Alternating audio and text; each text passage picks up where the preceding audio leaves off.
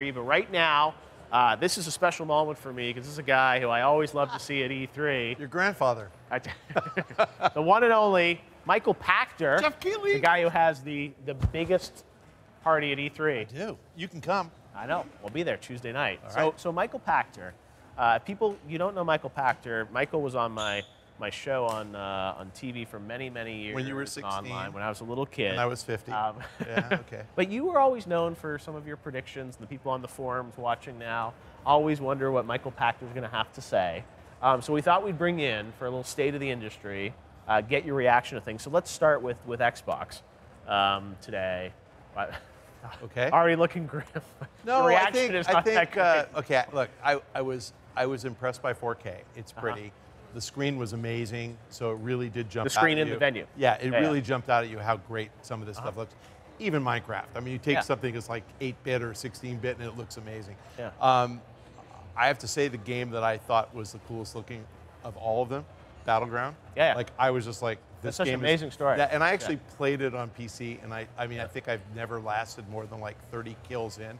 Like I, there's 70 people left when I Yeah. die, and I'm like, I realize I suck with a keyboard and a mouse, and I think maybe with a controller I can make it to like the last 50. Okay. Um, amazing game. Yep. Uh, I think I, I just hitting your last couple of guesses. Charla did a good job. They had huge, you know, volume of content, Lot of like indie- a lot of stuff. Yeah. Um, but you know, the big three first-party titles like Sea of Thieves, really? Yeah. Like, I'm not playing that. Crackdown, maybe. I think it was a little. I didn't like the cel shading, but maybe. Yeah. Maybe.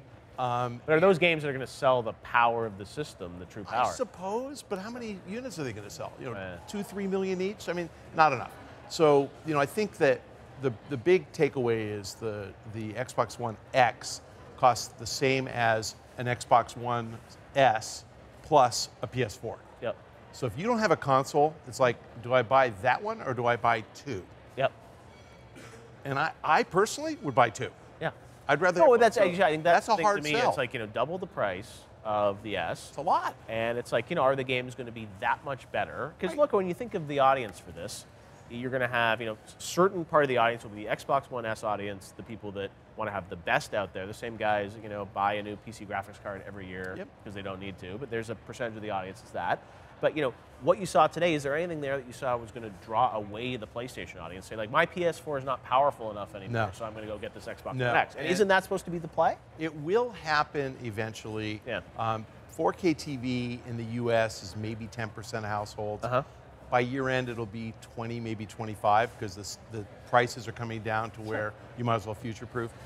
A year from now, when we're at 40, maybe you care. But if you don't have a 4K TV, unless you're Gary Whitta, Right. you know, you're not going to go buy a 4K TV just to play games. Right. So it's not going to happen. Um, so how has PS4 Pro been doing? not selling well, and I think it's Okay. the same thing. People don't appreciate the value proposition.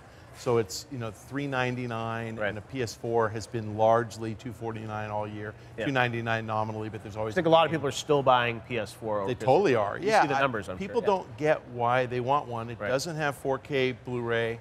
You know, people don't even know what the letters HDR stand for. Right. So no, I mean, it, there's they don't get the value proposition. Right. I'll give Microsoft that. They they branded this thing as you got a 4K TV, you need a 4K box. Yep. I get that. Do you know what a teraflop is? Because I sure as hell don't know. So six. How, what is a PS4? I have no idea. 4.2 teraflops. Beautiful. Yeah. Did not know that. Yeah. I would not know a teraflop if it flopped. Oh, no, in my PS4 face. Pro I think is 4. There you go. So, yeah. What does it mean? I don't know Right. what it means. Like, Yeah. th- don't throw out meaningless stats. Yeah. I barely know what 4K is, and I'm actually smart about this shit. Yeah. But I'm not say shit on TV. can say whatever Sorry. you want on YouTube. I'm pretty smart about that stuff. But um, you know, I know what 8 million pixels is. Do you know how many pixels there are in your cell phone camera? I don't. Eight. And do you care? Right. Right. You don't. Yeah. Did you buy your cell phone because it has eight megapixels instead of two? Yeah. Mm-hmm. No. Are you going to buy an Xbox because it has eight megapixels instead of two? No. Okay, so then what? So what? What would you grade the press conference today? What did you think? Okay, I liked that it was super focused on software. Uh-huh. I liked that there were probably 50 titles. I mean, that B-roll probably showed 20 of them, you know, in about three minutes. Um, I think they dwelled on the ones that aren't that compelling a little too long, Yeah. like Sea of Thieves. Well, they had, I thought, a really great start with Forza looked amazing. That. Metro game and a great incredible. end. I thought Yeah. the end was amazing. Yeah, so I thought the last they had two games. three really big games. Right. Yeah. So I already forgot the name of it. Shadow Anthem. of what? Shadow of. Oh, Shadow War. The Shadow of uh, War and then yeah, Anthem. Yeah. So Shadow of War actually looked more interesting to me than Shadow of Mordor. Uh-huh. So I was like, okay, I actually will play that game. Yeah. And Anthem looked like what I really wish Destiny had been. Like Uh-huh. I thought that was really a good looking game. Yeah. So they ended with a great punch. Yeah. But I don't need an Xbox One X to play those games. Yep. So again, yes, I think they did a good job on software. It was interesting to me you didn't see any big name third party titles that are established franchises. Right. You didn't see Star Wars, you didn't see FIFA, you didn't see Call of Duty. Well, PlayStation has most of those deals. I feel like. Exactly. right? So we're going to see those tomorrow. Yeah. And then we're going to forget all about the Xbox press conference. Right. But because that's what people know. But I actually thought the the volume of, of content today, Mm-hmm. and it was actually generally very high quality. And I say it's all Charla. I mean, Charla actually signed up like Cuphead. Yeah. I'm going to play that. Incredible. You are too. Great, yeah, yeah. Right. I mean, th- those are cool little titles, and that. But they're going to come to other platforms a couple months later. and they should. Uh, so four ninety nine is a price. Uh, you know, this morning I was on Twitter saying you know, I had I heard very I gave you props. Uh, you did give me props. Yeah. I was like pretty sure that they were going to go 499. I would give you props to the X. I, I thought that was a good call. Yeah, X. you so it's like we You, you know, said 10. Yeah. Yeah, 10 X, um, but 499. People were freaking out this morning. I actually think it's like not that bad a price for what you're getting technologically. And when I did a poll a week ago, 40% of the audience on Twitter thought it was going to be 499. But this morning, people went crazy about that number. Is it too much? Yes. Uh, this, I mean, it's not too much for what you get. Right.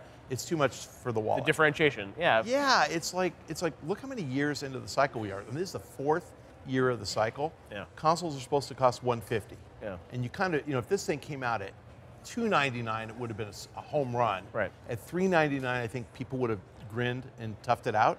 499 sounds like it's a brand new console, and they were very clear. This is not a brand new console. It's part of the family. And you know the name, of course, right? It's just like you know. I, oh, I, like I said, I, I, you got me thinking about 10 in the title. I like. I was like X. That's brilliant. I like the name. I'm It okay shortens the Xbox. So, uh, how do you think it does then? Uh, Is it sort of just a would it of would play? surprise me if they sell 20% of their total units as this device. So if they sell 10 million next year, it would Yeah. surprise me if they do too. Okay. They could. Um, the only guys who are going to buy it out, out of the gate are Xbox owners who want to upgrade, and it depends on the GameStop trade-in deal. You know, if Yeah. GameStop says we'll give you a $200 credit, sure, Yeah. they'll get a lot. So, what do you think Sony does? Do they worry? Do they do a PS5 in the next couple of years? What do you think happens? Uh, if the price had been 399, you would have had a price cut on PS4 Pro tomorrow. Yeah. Um, it wasn't, so you probably don't need one, but I think they cut anyway. Yeah. So I think PS4 goes to 249 every day, all the time, probably with a bundle, so it'll, it'll be competitive. And PS4 Pro probably goes to 349. If they go to 299, Microsoft has a problem. do you think they would do that tomorrow? Could. Really? I don't know. You know, Sony, unfortunately, Sony's actually making money and now they're greedy about it. It used to be when they were losing money, they were predictable. Yeah. Now that they're making money, they kind of like it. And they probably, you know, they have runway till November, so they just Yeah, have to yeah. react. They, uh, I think they won't react. I think 499 gave them breathing room. Yeah. We went through this in 2013 when they both announced the boxes, Yeah. and Microsoft priced so high, Yeah. and Sony breathed a sigh of relief, and you know didn't have to do it. So We'll see. But do you think, uh, do you think Sony's, should they be worried that Xbox now has the most powerful system out there, as they say? yeah, you know that's like the tallest midget. Who Yeah. I mean, you can get a PC that's more powerful and pay more, but Right. but if you want to play a, a great game, I mean, you can put it. Well, in. especially now, I think it's you know it's a different equation because all these games work on all the systems. So Right. It's like there are no Scorpio exclusive games. So in some ways, the games are being held back a little bit because they have to work for you know Xbox One S and Xbox One X. So it's just, to me, it's like it's sort of a different equation. And also the, the the differentiation in these games, it's, it's hard to see the difference. I thought when I saw Metro and Forza and a little bit of Anthem, I'm like, okay, those feel like appreciably different. But for you know 80% of the press conference, the content there, I was like, looks like the stuff I so played. so let me get, let me give you a stat. Do you know what the average price of a television last year was in the United States? Any television? of, of all televisions average, like the total, total dollars divided by total units, $434. Say 500 bucks. Yeah. 434 Yeah. This is more expensive than the TV most people have. Mm-hmm. And at 434 most people have a 32 to 40 inch TV. Right. So they can't tell 4K versus 1080p. And, and Xbox One launched at 499, I think. yeah, right? yeah, It's just like that's a price point that consumers think is too much. Yeah. Even though you know, I know you make a lot of money, and I and I hope that I'm in your will. Um, yeah, but it's like it doesn't sound like a lot to you and me, but it's a lot of money. Yeah. And if you're like some working schmo who's making 20 bucks an hour, you're thinking like, I got to work a week and, and not eat Okay. to buy that thing. It's, it's hard. All right, so before we move on, I got to ask you about Nintendo. Reggie was just here. Switch seems to be doing pretty It is. well.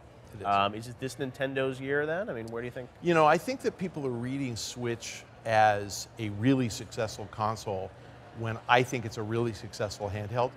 I think that they, they put out a super high quality $300 handheld. Right. I have not yet met a person who actually puts that thing in the docking station and plays on their TV. Everybody sits on their lap, and because it looks great Nothing and it's right that, there. It feels no, it's totally fine. But so yes, Nintendo continues its handheld dominance, but no, they don't have a console.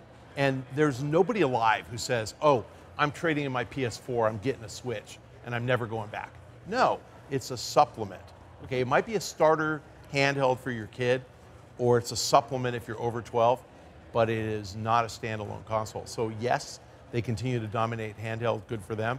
And it's great that they've taken handheld software to the level where it's console-like, like Zelda. Breath- is, Breath of the. Wild, no, it's amazing. No, it's a, it's Yeah. like one of the best games ever. But I'm saying they finally they finally narrowed that gap. Mm-hmm. You know, so what that tells you is it's only a matter of 10 years, and mobile games will have you know that same kind of quality. Right. But it's a handheld, so it shouldn't be in the same discussion as Xbox One and PS4.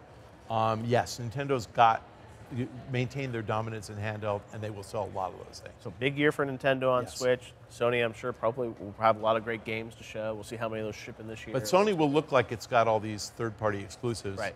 and they aren't. I mean, Call of Duty is not exclusive, Right. nor is FIFA, nor is Star Wars. Star Wars, all these Right. big games. Right. We'll have to see. All right, well, always interesting times. Michael Pachter, great having you with us. I'll try not to pull a Charla and walk off on, on camera. I, no, you're, you're professional. And we can check out your show, right? You've got the Pachter Factor. There you go. On YouTube? I, need I need uh, Twitter followers. Oh, I've got, look at this. I've got like no Twitter followers. So Okay. you- can I just say at Yes. Michael Pachter? Yes. If you want to be offended, you can follow me on Twitter. The Pack Attack. All right, great to see you, Michael Pachter. Thank you for making Thank you, Geoff time. Keighley. Uh, now it is time to talk.